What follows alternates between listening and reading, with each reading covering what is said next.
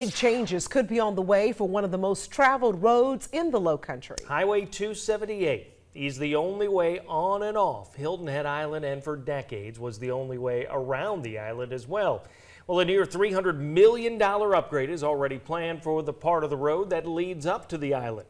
But as our Tyler Manion reports, the section inside town limits could see improvements as well. U.S. Route 278 has been a constant point of conversation here on Hilton Head, with a specific focus over the last few years on the entryway to the island. Tuesday morning, though, that focus shifted. It's the main road that takes people around the town, or more simply, it's the heart of the island. That gentleman is one of many members of the public who sat in on this three hour workshop, listening as a group of engineers presented their ideas for improving the crucial roadway. I have a great concern about how this moves forward, and, and I want to see what the thinking is. Town leaders tell me they share that concern and want to make sure any potential changes are done right.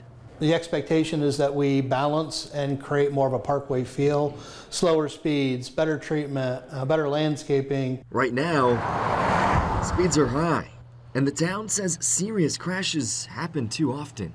We need to make some bold moves and significant considerations for change. The presentation took a wide scope, but improvements to this vital route have specific goals you can expect the town to prioritize. To increase safety, to reduce the amount of incidents we have between bike and ped users and, and vehicles, and create a more consistent network. The assistant town manager telling me staff will take the conversations and recommendations from this workshop into consideration and bring back a more detailed presentation to council in the coming months.